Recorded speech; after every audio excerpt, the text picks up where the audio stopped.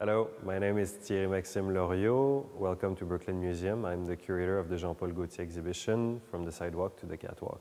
Throughout the exhibition, you'll discover that there's uh, 32 animated mannequins, and also you'll see Jean-Paul Gaultier who greets you in the exhibition. And yes, it's the real Jean-Paul Gaultier.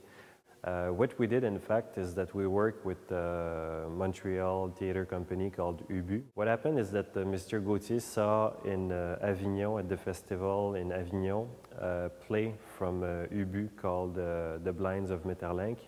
And he saw these uh, animated faces and he thought it looked fantastic because it reminded him of a movie that fascinated him when he was a kid called Falbala where at the end the mannequin becomes alive. So we worked with the actors, models who were muses of uh, Mr. Gaultier. We went through uh, the same process because I was kind of the prototype for it, and Mr. Gaultier went through the same process also of having our head cast in a plaster. So they, they in fact casted from the back to the front of the head and uh, with the cast of the head, what they do is that they film the oval of your face.